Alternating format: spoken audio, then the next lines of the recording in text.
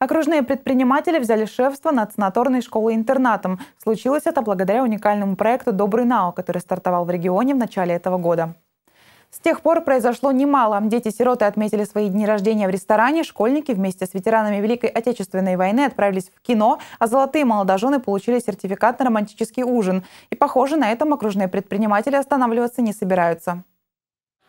В копилке проекта уже немало действительно добрых и бескорыстных дел. Идея взаимодействия власти, некоммерческих организаций и бизнеса набирает обороты и вовлекает все больше людей. Очередь принимать добро на этот раз выпала санаторной школе-интернату. Мы созвонились э, с директором санаторной лесной школы и спросили, какая помощь вам нужна.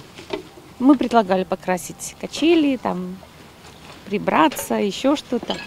Санаторной школе к такому предложению отнеслись с не меньшим энтузиазмом. Редко приходят люди, которые предлагают помощь, признается директор Наталья Карипанова, тем более по уборке территории.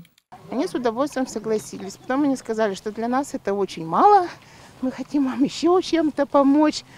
Мы так подумали, подумали, решили, что нам нужны мячи. У нас площадка достаточно большая, дети любят играть в футбол, разные игры, связанные с мячами. Играть в футбол воспитанники санаторной школы теперь будут по-новому. Арсенал спортивного инвентаря пополнился на 6 настоящих футбольных мячей для активного образа жизни. Да.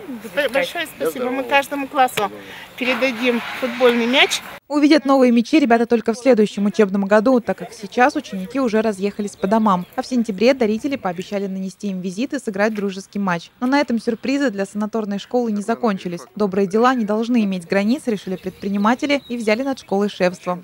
Будем помогать всем возможным, какие есть у нас ресурсы. По возможности будем помогать, приходить. Следующее доброе дело уже придумано. В ближайшее время предприниматели пообещали к приезду детей привести в порядок игровую площадку. Ирина Цепетова, Владислав Носкин, телеканал «Север».